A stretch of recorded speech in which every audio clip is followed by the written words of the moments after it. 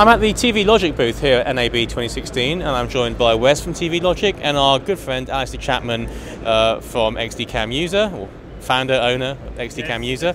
Um, and we're here to talk about this, which on the face of it looks like a lot of other monitors kicking around the show, but it has uh, some tricks. Wes, what, what, what, have we got here? Well, what we're looking at is a brand new 24 inch uh, monitor that is actually full 3840 by 2160 native resolution. And in addition to that HD resolution, this panel also is a very ultra wide gamut. So 4K, that, 4K resolution. Right, 4K resolution, and then the, the color gamut goes all the way out to DCI P3. It actually hits 97% of DCI P3. So the other thing that's interesting about the monitor is the multitude of ways that you can bring a 4K signal into it. So it supports 4K um, via a quad 3G SDI, which has been the standard way of bringing 4K in. But now we also support 6G single link, which gets you out to 30p. 4K 30p. Right, and then 12G, which gets you out to 60p 4K. And in addition to that, we have HDMI 2.0, which is also up to 4K 60p. Um, Alistair, why is why is that significant? I mean, what, what's what's why, is, why are you standing here? Why is this interesting to you? Well, it's really interesting because up to now I've been using TVs, 4K TVs for my grading because you know, 4K. Like a lot of other people on, a, on a, a more modest budget. Yeah, 4, 4K monitors have been prohibitively expensive. They've been crazy money. So this is now an affordable 4K monitor. But also, you know, lots of people are using stuff like Resolve to grade with now, and they might have a Blackmagic card in their computer, and of course they have the 12G capability.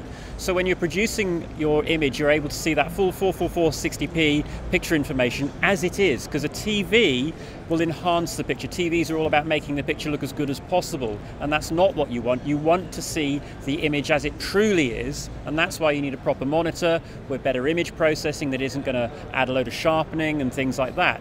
And that's really exciting. Plus, of course, you have the different gamma curves and LUTs because you know things now I'm doing stuff that are normally going on 709 TV. We've got HDR on the horizon, but now we're also looking at piece uh, delivery with P3. So if I want to do something for 709 and something that's going to be projected, I can just switch the gamma curve option on the monitor and grade and check that both my 709 masters, my P3 masters, etc., are all good. So it's a really exciting monitor. Um, can we see any of that? Can we see what, what, how your LUT setup works sure, and, so and, and, and, the various waveform vector scope, the whole lot's on here, right? Yeah, let me just show you the uh, the LUT, well, yeah, the LUT features. So basically, if you go in to, this is all the, the menu system. If you go into the picture and color settings, go down here to our color space, we have built-in 3D lookup tables for Rec 709, SMPTE, EBU, D Cinema, which is DCI P3, and then we do a BT 2020 emulation. And so those those are 3D LUTs.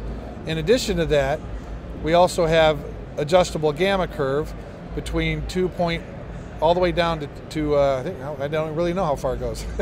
no, it goes low and high, but but it's it's, it's 0.5 increments, so it gives you very very um, very very minute control of gamma. So these are features that are very, very helpful in a you know in a grading situation. Um, and in terms of price, just how affordable is this? Well, um, in the U.S., it, we we listed at eight thousand two hundred ninety-five. That price probably doesn't apply to the, the you know to the UK, but sure. that's that's gives you a ballpark of what to. Uh, you know to expect. So, in terms, of, so in, in, yeah, in terms of professional uh, right. monitoring solutions, that's actually incredibly cheap. Yeah. Um, and uh, you know, I, I, think, I suppose you wouldn't use this. Would you use this in field use as well, or, or not really? It, 24 inch is actually just a nice size, especially for DIT work, where you're working on a cart as a DIT. You know, it's big enough 4K, if you're going to sort of see focus issues, things like that, 24 inch is about the size you need to be as a minimum to start to see problems with focus and stuff like that. Um, but 24 inch isn't so big or so heavy that it becomes cumbersome on a DIT cart or in the back of a small van for a news uh, trucks, those really small OB units that are now cropping up. So it's a good size, and I know there's a 17 inch as well that has a 4K input. It's only an HD display, but that does have a one to one pixel option as well. So you can feed 4K into it, go into one-to-one pixel, see, look for focus and things like that. So if you need a smaller monitor, there's a 17-inch version as well. Okay. Um, and has this got XLR power in the back? It does. Okay. So you can you can you totally use it in the field if you want to. Gentlemen, thank you very much. Thank you.